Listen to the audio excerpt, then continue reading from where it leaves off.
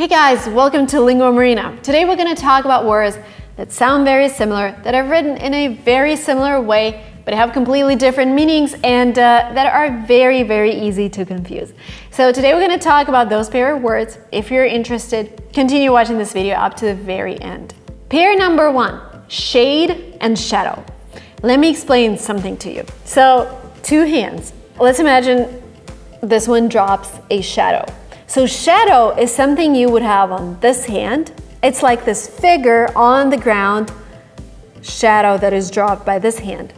But shade is something right here. It's an area. So it's an area hidden from direct sunlight. I'm going to rest in the shade of this tree. That means I'm gonna rest somewhere here. You're not gonna be resting in the shadow. This is wrong because shadow is something that's on the ground. You're gonna be resting in this area under the shade of this pepper tree. Shade also has another meaning. Uh, Fifty Shades of Grey, right? It means the grade of a color. So this is a shade of blue. It is not like this traditional blue color. It's one of the shades, but it's nice. There's a particular shade of blue in the evening sky. And again, shadow is a dark shape on the surface. A shadow. Device versus devise. Device is a noun, and it's an object or piece of technology that is created to fulfill some needs. Synonyms are gadget, tools. This is a device. A device. Yes, a small device. Devise is a verb and it means to create something with intelligence or imagination. The synonyms are come up with, invent. You must take some time to devise a scheme that suits your needs. We must devise a way to raise their spirits. Fair or fare? Pronounced in the same way, written in different way, these words have different meanings. Fair can be a noun, an adjective. For example, if it's an adjective, it means pale. Oh my god, her skin is so fair. That means it's pale. You got that fair skin. It can also mean that something is reasonable or right. The synonym is honest. They got some fair reviews. They got some honest reviews. It isn't fair to make you give up your dream. On the other side, we have fair as a noun. And fare as a noun, F A R E, means something you have to pay for taking a journey on a bus or on the underground. The city buses keep raising their fares. That means they keep raising the prices. You got cab fare. Dairy and dairy. Dairy refers to foods made of milk or made with milk. Yogurts, sour cream, cream, butter, whatever. This is dairy. Because dairy makes him sick. Diary is private person record of events, like you're keeping a diary, you're writing about everything that's happened during the day. I stole Tahani's diary. Amoral versus immoral. Immoral describes people that understand between good or bad, but intentionally do bad things. There is nothing immoral about wanting to make more money. It's immoral. Amoral, again, understanding what's bad or good, but doing bad things because you don't care about morality. Like, for example, this movie was amoral. Of course, people understood what was going on in this film, but it was against morality. It's dangerous, amoral. Taking a quick break here to introduce and thank the sponsor of this video, which is Skillshare, an online learning community with thousands of classes. The class that I really enjoy on this platform is a class that teaches you on how to prioritize your main goal. The thing is, all of us have this big goal in our heads, like, I want to be advanced in English, I want to get into an American university, I want to start a company. But then our everyday lives are flooded with not important but urgent tasks, and we tend to prioritize them.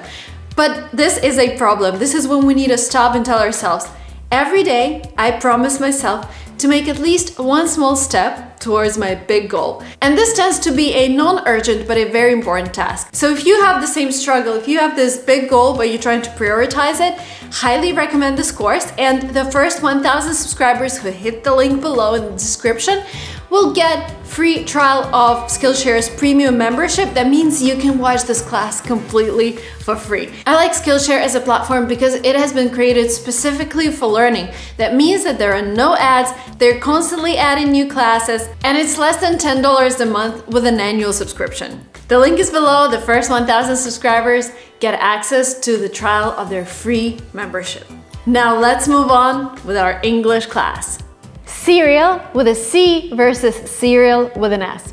Cereal is something you have for breakfast. I love having cereal with milk or cereal with yogurt. Some people have cereal with juice. I can't really imagine that, but some people do. This is something you eat. You want some cereal? Serial with an S means that things are in a special order, like a list of things. Jack the Ripper is one of the most famous serial killers. Serial killer. Father versus further. When we're talking about distance, they are kind of the same. However, American English speakers prefer father for physical distance and further for figurative distance. How much farther it is to the airport. So, how long would it take to get to the airport? I can't run any farther. But when we're not talking about the distance, we can use further. We need to research further in this matter. This is not like the actual distance, this is how much you need to work. No further questions? And again, you can use both, it's not really a mistake. Just know that further can also be a verb. Additional training is probably the best way to further your career. The synonym to the verb further can be to advance, to develop. Effective versus efficient. Effective describes something that gives you a result that you want. Daily exercise is effective in overcoming obesity. Simple but effective. Yeah, a little too effective. Efficient means performing or acting in the best possible manner, not wasting resources doing everything fast. Modern day engines are so much more efficient. And ecologically efficient. And the last but not the least, famous versus popular. So famous normally refers to recognition, like if you see this person, you would recognize who they are. This is famous.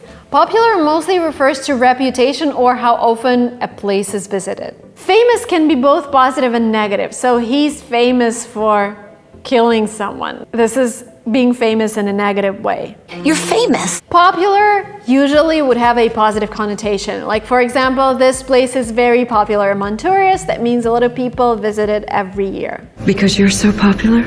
Let's look at an example. A famous restaurant means it is well known. A popular restaurant means it's normally busy, has a lot of lines, has a lot of people. So you see there is the slight difference between famous and popular. By the way, guys, if you're willing to learn more English with me and teachers that work with LinguaTrip, we have a whole course for you called Intermediate to Advanced. By the way, things that we're discussing in this video are closer to upper intermediate. So if you're able to understand this video, the course would be the right fit for you.